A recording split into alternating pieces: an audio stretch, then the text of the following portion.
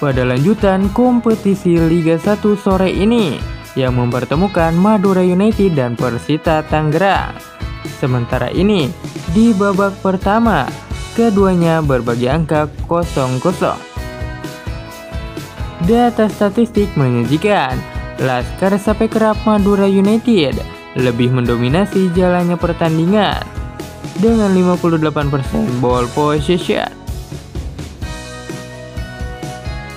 Jika hasil ini bertahan hingga peluit panjang dibunyikan, Persita Tangerang akan menempati posisi ke-6 dengan raihan 5 poin.